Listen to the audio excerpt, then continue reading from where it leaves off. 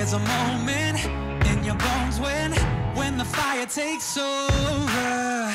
Blood is running, heart is pumping as the battle gets closer. They can say what they want now. Cause we'll be screaming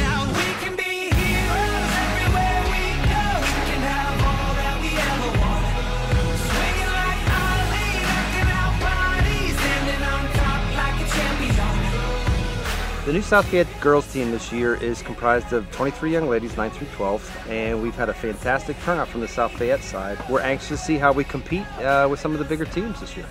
Favorite part of being a coach for this team is seeing the girls have fun, seeing the girls win, uh, seeing the girls improve their tennis game. Uh, it's a wonderful opportunity I have to try and sh- share some of my skills and my thrill of competition with them uh, as they move forward in life. It'll work out that uh, this will pertain to way more than just tennis in the big scheme of things. Uh, we'd love to see people come out and support the tennis team this year, even though our home courts are still over at Fort Cherry.